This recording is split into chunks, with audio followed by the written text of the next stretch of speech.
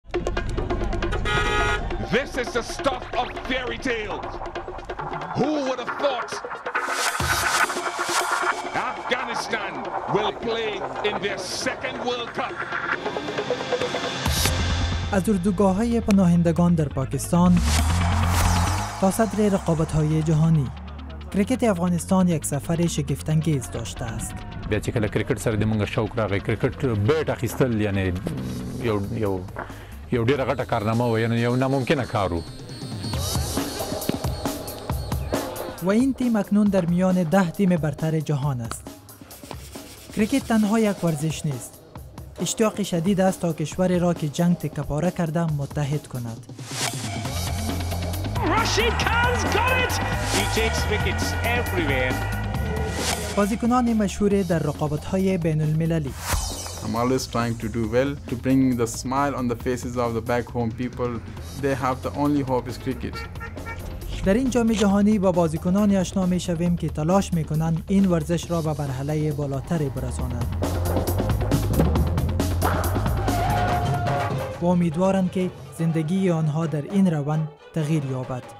چې دغه نړیوال جام ته زه انتخاب شم او میچونه وکم او ښه کارګردګي وکم نو دا دونه زما لپاره غټ خوشحالي هیڅ شم نه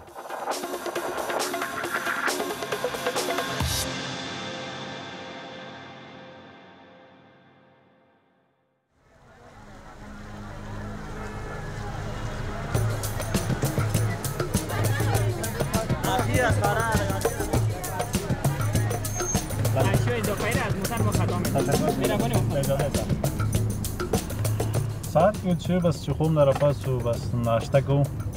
بعضې وخت کې اوس چې دومره وخت نشته بیا چې موږ سره ډېر وخت بیا سهار وختي پاسېږو بس بیا پارک ته ځو هلته بس بیا منډې وهو رننګ کوو هلته بیا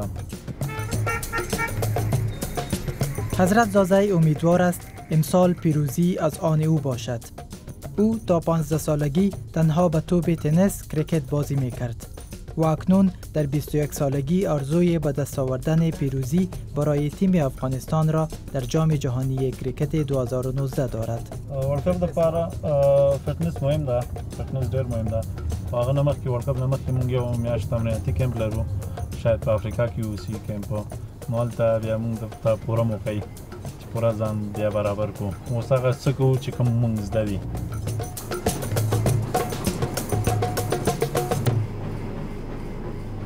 کرکټ سره خو مینه د ماشوم توب نه وه اول نم کرکټ سره مینه او میچونه هم لیدل نو هغه وخت کې موږ ته به ویلې وی تاسو دبی اسې دبی وهئ یعنې په درد نه خوري چې مکتب هم خلاص که بیا ما شپې وظیفه کوله شپې مې وظیفه کوله سی سي وي روم کې نو شپې مې وظیفه کوله ورځې به هم میچ کوو نو وظیفې نه به هم ډایرکټ زه ګراونډ ته تلم نو د ورځې به چې هر چېرته میچ و د هاډبال ما به نه میس کوو هغه هاډبال میچ ته به ما ځان رسوو که هغه له وظیفې و که له کوره نو هغه وخت کې ما څلور ساعتو کې زما درې څلور ساعته خوب و He goes over the top. Over Bidal, it's gone all the way for a six. Whoa! حضرت به توبزن مبدل شد که در سطح جهانی بازی می کند. در سال 2019 رکورد جهانی را شکست و در بازی با ایرلند 16 بار 6 امتیاز را گرفت.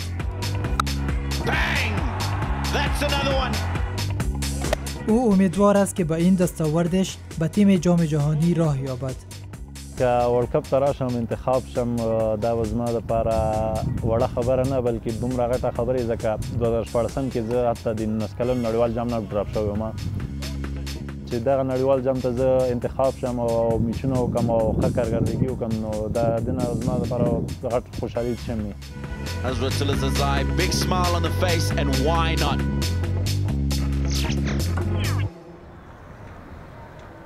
کرکت عملا در زمان طالبان ترویج شد زمانی که دیگر ورزش ها در افغانستان ممنوع اعلام شده بود بسیاری از افغان ها از قوانین طالبانی فرار کرده و به عنوان پناهنده در پاکستان زندگی می کردند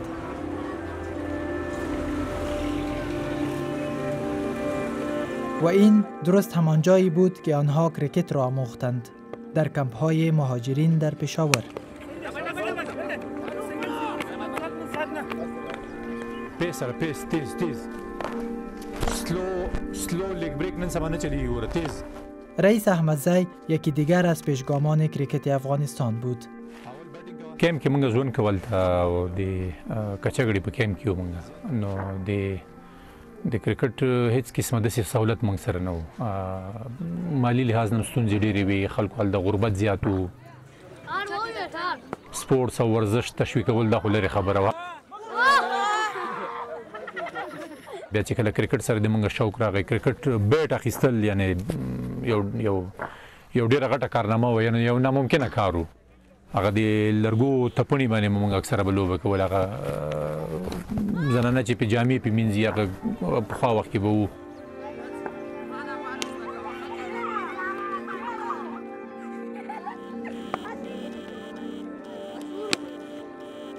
بعد موږ د سیو لیونه شوق ور سره موږ به سوچ کوو چې نور په دنیا کې هیڅ شی نه وي موږ به بس کرکټ وای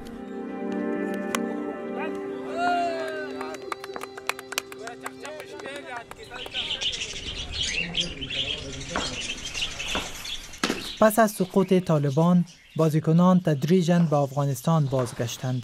و کرکت شروع به نشو نما کرد. اما در کشوری که برای بازسازی تقلا می کند، ورزش یک اولویت نبود. پیسې نه وې، سهولت نه و، حکومتي سپورټ نه و، حتی د خپل کورنۍ سپورټ نه دسي کله نه کله به موږ خلکو دسي کړو چې ډیر به مایوسه کړو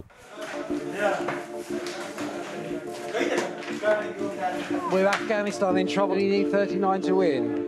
آنها اندک پول شخصی خود را صرف هزینه سفر خارجی کردند.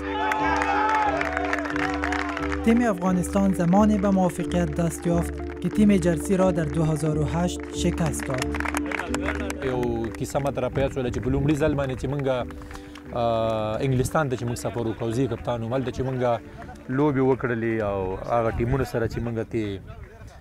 لوبې هم ترې وګټلې چې بېرته مونږ سره مونږ راغلو مونږ سره حتی ته د کابل هوایي میدان نه تر اولمپیکه پورې مونږ سره کرایه نه وه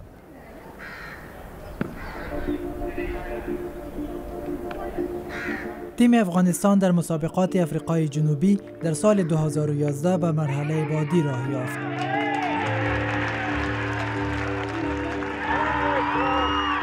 اما آنها از تیم کانادا شکست خوردند.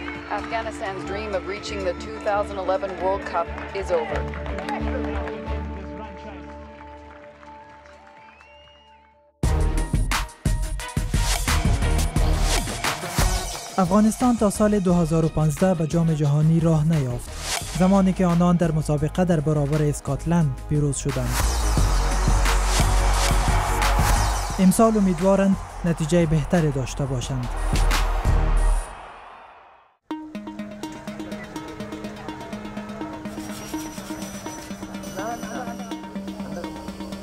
کرکت در افغانستان تنها یک ورزش نیست یک شور و علاقه در سطح ملی است یو کال نه تر اوسه پورې موږ هم د کرکټ علاقه مند یو علاقه علاقه ورسره لرو او هم کو او هم یې ګورو په تلویزیون کې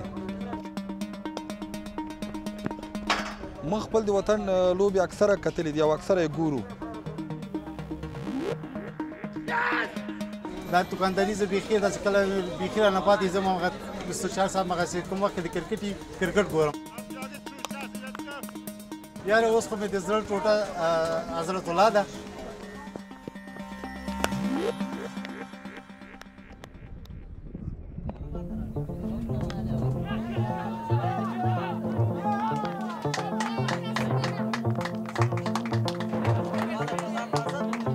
اول که دوی لبدی من ریلکس رئیس اکنون بازنشسته شده و به دنبال استعدادهای نسل بعدی است ډیر خور مونږ درکې چې په خپل وطن کې لوغاړو پسې ګرځو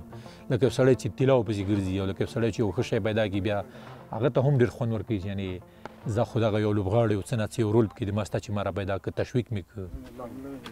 او بیا سبا راځي تی په تلویزیون په پرده باندې ویني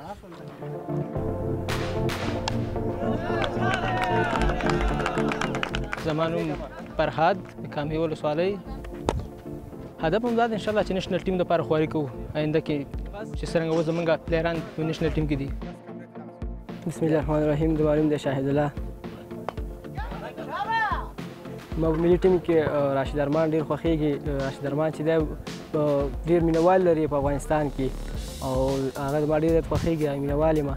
غواړم چې ما هم راشد ارمان جوړ شي رئیس می داند که به دنبال چی چیزی است او یکی از بزرگترین ستاره های کشورش راشد خان را در یک رویداد مشابه چند سال پیش پیدا کرد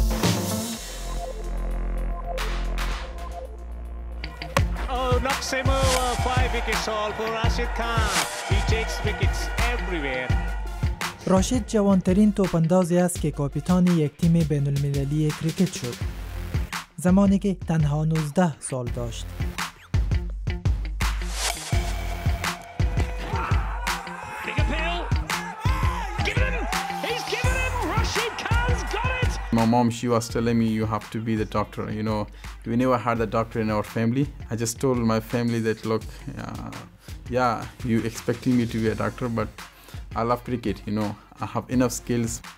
i can do it i can go forward and i can have a have a good future oh, my nephews brothers they're all together in, in one room and they're watching my game and uh, if i don't perform my mom says no one eat I'm always trying to do well, to do as good as possible and to bring the smile on the faces of the back home people as much as possible because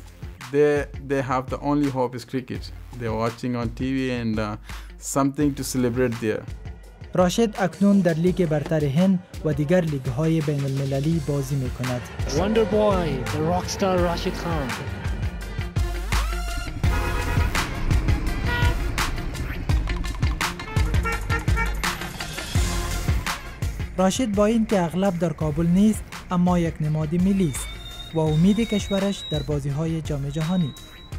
راشد خان که فعلا کپتان تیم ملی هم شده با کرکتی که بازی میکنن با ریکاردای کابل شکستاندن بر مردم افغانستان به عنوان یک سفیر امید معرفی شده به کسی که بر مردم خوشی میاره برای مردم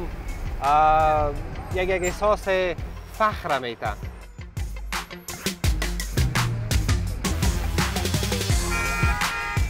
ای افغانستان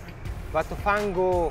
و جنگ دیگه نیاز نداره افغانستان به بورس نیاز داره افغانستان به یک توپ و بد نیاز داره افغانستان به کسی که آواز میخونه نیاز داره این قهرمانای واقعی افغانستان بوده میتونن کسایی که بر افغانستان خوشی میارن افتخار میارن و او اساس کار ما یک گوشی از امو کار است که میتونه کمک کنه اون او فضا را همین چری مثبت افغانستان را نشان بده و حداقل بتانیم برای شهروندای خود برای مردم عام افغانستان یک کمک امید بتیم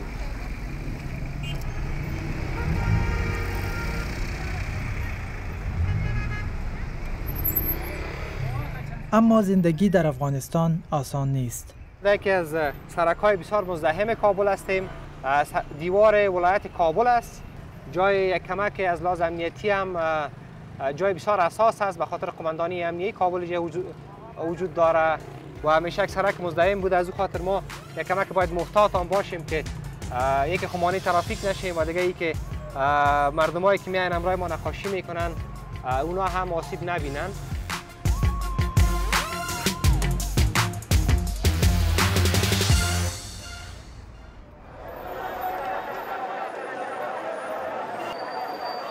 اینجا نگرانی های شدید امنیتی وجود دارد.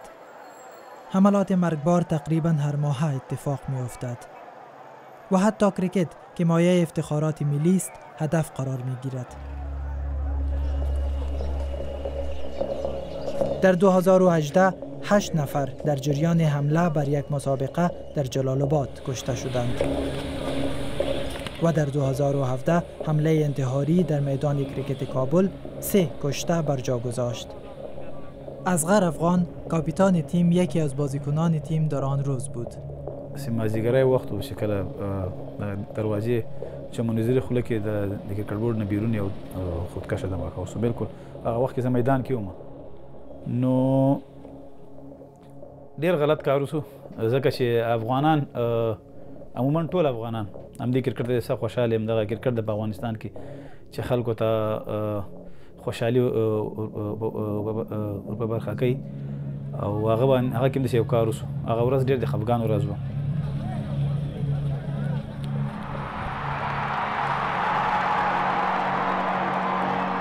نو خو زه د واقعا د افغانستان غیرتی ولس ته مې همیش سلام ده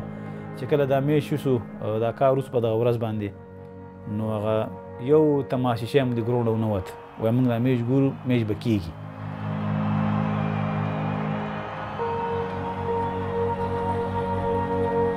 په دوه ورځ به ګومان کوم چې 15 شپږ زره خلک راغلي نو په سبا باندې میشته تقریبا شل 15 زره خلک راغلي چې په میدان کې نه جهیدل په هغه ورځ موږ په دې خپل ولس باندې فخر کوو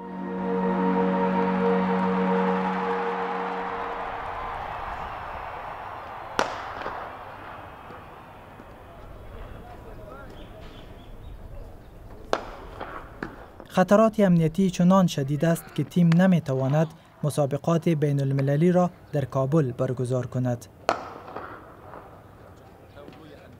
بیشتر آموزش های آنها در خارج از کشور راه اندازی می شود. استادیوم دهرادون در حومه دهلی میدان محلی تیم ملی افغانستان شده است. اصغر در چهار سال گذشته کاپیتان تیم بود. او آرزو دارد که روز بتواند در میان جمعیت مردم در کشور خود بازی کند. ان شاء الله الله چې دومره مشکلات موږ ته اسان کړي دومره چې مخکې راوښي یو ورځ به ان شاء الله دام الله به په افغانستان کې سوله هم راولي چې دا څومره سیریزونه موږ خارج کړو دا په داخل افغانستان کې ان شاء الله امید ته امید باندې بیلو که موږ تاسو همت وبیل نو بیا نه کیږي همت ضرور دی چې باید ته امید او همت ولرې او و او انتظارات بلند در جام جهانی دارد لکه نور ورلد کپ که تاسو وګورئ موږ به صرف دې لپاره چې موږ ورلد کپ د افغانستان ټیم صرف ورلد کپ کې لوبه وکړي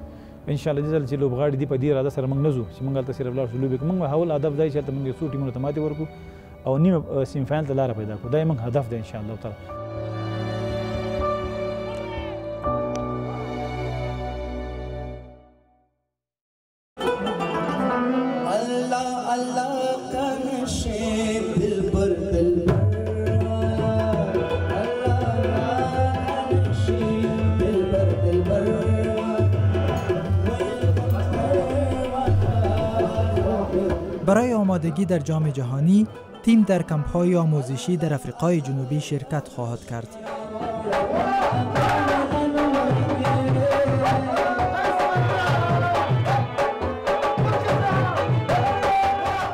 اما قبل از سفر زمانیان است تا از دستاوردهای خود تجلیل کنند دغه پروګرام جمعه کې او خامخای د لوبغاړو لخوا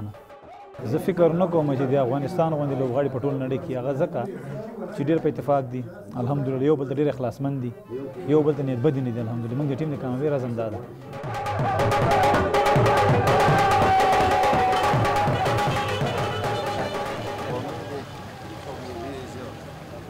کمپ آموزشی این تیم را هزاران کیلومتر دورتر از تهدیدات امنیتی کابل در خود پناه داده است. این نخستین سفر حضرت برای شرکت در جام جهانی است. با وجود اشتیاق فراوان برای سفرش، او یک جدایی دراز مدت از خانواده و برادرزادهش در پیش دارد. زه دعایم چی خدای د ټولو کی کامیاب کی ټولو کی د خدای والمره کی ټولو کی د خدای بری کی. او دا مو یو دی وتو چې ګور حضرت ته ځان ته غره نه شي چې مو داسې وکړه زه داسې کوم زه داسې کوم یو سړی کوي چې زه پلتون یم پلتون جوړېدای شم نه شي جوړېدای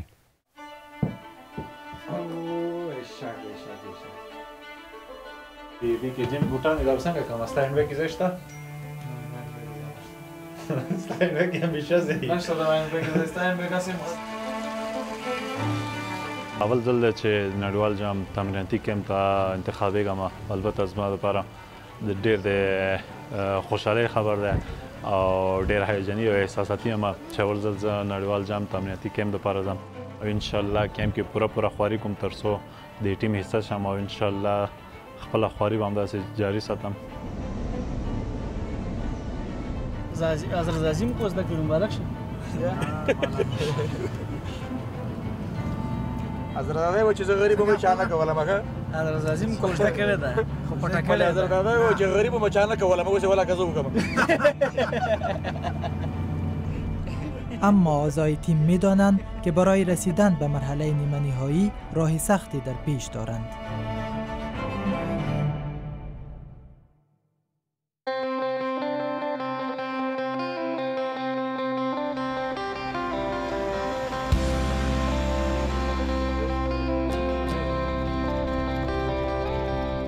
تیم بالاخره برای شرکت در جام جهانی به بریتانیا رسید جایی که آنها باید در یک رشته مسابقات بین المللی یک روزه در اسکاتلند و ایرلند بازی کنند این فرصتی است که با آب و هوای بریتانیا آشنا شوند. اما اینجا خیلی سرد است و شماری در تیم هم روزه دار هستند. بنابراین بازی سخت در پیش است. دا کوم احساس چې زه لرم دا خو زه خپل هم نه پوهېږم چې سره کوم زه دا احساس بیان کړم ځکه 2015 ورلډ کپ ما خپله په کابل کې مې لیده په ټي وي مې لیده نو هغلته ما دا فکر کړی و چې زه به افغانستان دپاره لوبه کوم خو ما دا فکر نه و کړی چې زه به دومره غټ سټیج ته رارسېږم دومره زر هم دا فکر نه و کړی دا غټ چې به ماته دونه زر رارسېږي چې زه د افغانستان نمایندګي کوم او د افغانستان په نامه به زه لوبېږم هغه هم په نړیوال جام کې نو دا زما دپاره ډېر د افتخار خبره ده و اینجا تغییر ناگهانی کاپیتان تیم اصغر همراه با سالها تجربه و مدیریت تیم جایش را به کاپیتان جدید ګلبدین می دهد. ما لپاره یو غټه خبره ده په یو غټ ایونټ کې افغانستان ټیم نمایندګي کول او په داسې سټیج کې چې د چا ما خو په خوب کې نو او الله تعالی هغه موقع اوس ما ته راکړې ده ان شاء الله خپل کوشش وکوم چې د افغانستان لپاره د ټیم لپاره یو داسې یو لاسته راوړنه ولرم چې هغه تل پاتې خلک یاد وساتي اما راشد خان ستاره تیم همراه به دو بازیکن دیگر در اسکاتلند نیستند او در لیگ برتر هند بازی می کند این بر روحیه تیم یک ضربه واقعی است طبعا اغیزه کوي خو لږ مونږ باید دغه مو ګورو کنه چې دوی درې نه بغیر مونږ شي کول شو کنه شي کله خدای نه خواسته صفه دوی انجری کیږي دوی ته انجری مشکلات هغه کیږي چې هغه باوجود مونږ ټیم شي کول شي کنه شي کولای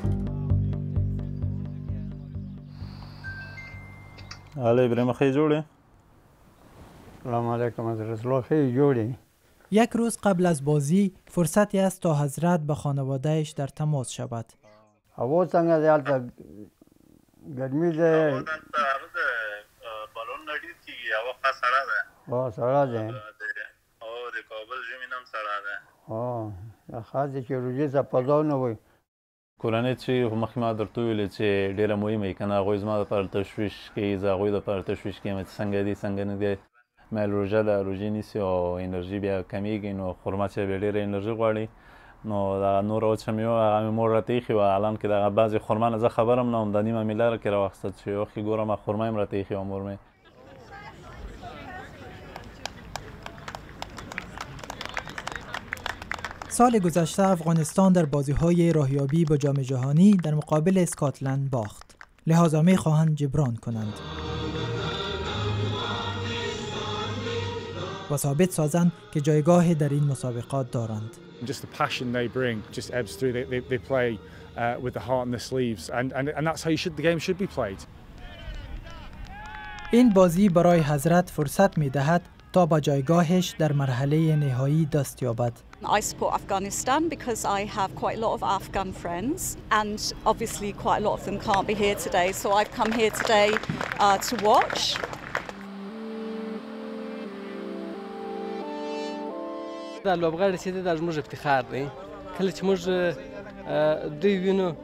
په دوی ویاړو کله په تلویزیونو کې وینو کله په ژوندۍ بڼه وینو په دوی ویاړو نو د داسې احساس کوم کله چې د دوی لوبه ګورم داسې فکر کوم لکه په وطن کې چې ناست یم خو افسوس کاش کې دغه لوبه هم په وطن کې په داسې آرام و غوږو اورېدلی پس از یک آغاز آرام اسکاتلند در مقابل افغانستان 315 امتیاز گرفت.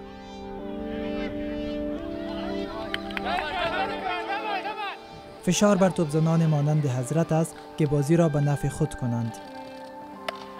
اما او فقط چند دقیقه پس از ورود به میدان از بازی حذف شد. هو والا د هغه نه زما توقع لګه ډیره وه خو بس کرکټ د حضرت ځاځي نه خو دا و چې بس کرکټ لوبه د چانس بس نن به د هغه ورځ نه وه خو ان شاء الله د دې نور نه امید دی چې دوی به خپل جاب تر سره کړي این یک رقابت سخت است اما باران مسابقه را مختل کرد و تیم افغانستان به تفاوت دو امتیاز برنده اعلام شد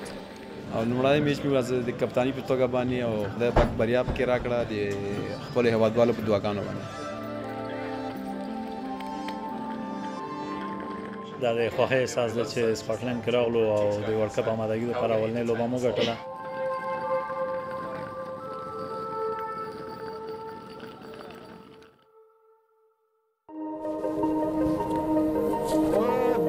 چې د افغانستان د کرکټ راتلونکي ډیر روښانه ده او براتلونکي 15 شپږ کلونو کې به د افغانستان د یو ټیم که هر یو بین الخارجي یو یو یو یو نړیوال ټیم دوی سره لوبه کوي نو سوچ به کوي چې دغه میچ به د موږ لپاره اسانه نه وي زموږ چانس به دغه چې یو حد پورې ځان ورسو نه دا چې صرف نړیوال ځم کې مسابقې وکړو بلکې زموږ هدف دا چې مسابقې وګټو تر یو حد پورې ځان ورسو سیم فاینل پورې ځان ورسو نو دا یو لوبغاړي همدا کوشش ده داسې دعاګانې هیله درنه کوو او ان شاء الله امیدوار امیدوار یم